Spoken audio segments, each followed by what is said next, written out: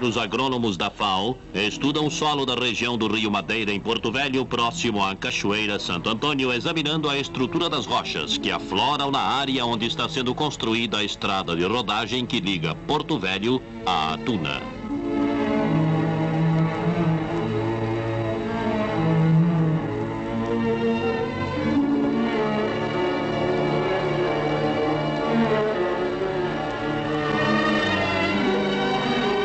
Penetrando a floresta amazônica pela estrada Brasília-Acre, os agrônomos da FAO passam a analisar solos cobertos de espessa vegetação, aí constatando alto teor de terra roxa, da mesma natureza das que são encontradas em extensas regiões de São Paulo, Brasília e sul de Minas.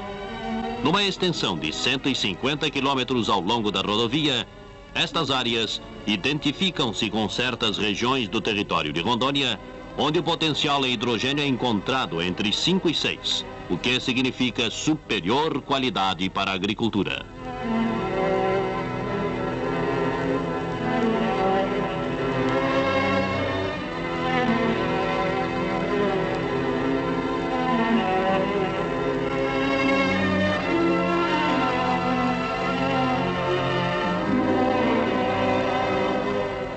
Entre o território de Rondônia e o Alto da Garça, no estado de Mato Grosso,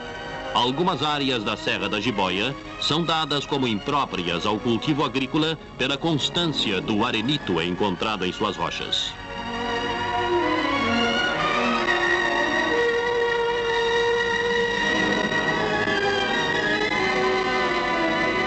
Em Jataí, Goiás, os pesquisadores vão encontrar novamente a chamada terra roxa em grandes extensões, que por isso poderão se tornar bons celeiros da região central do país.